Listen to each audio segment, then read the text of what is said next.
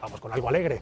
La conductora de un camión repartidor de encomiendas en Mississippi terminó saltando de felicidad después de hacer una entrega. La que están viendo, resulta que el dueño de esa casa había colocado varias golosinas y agua frente a la puerta especialmente para ellos, los repartidores que llegan a su vivienda.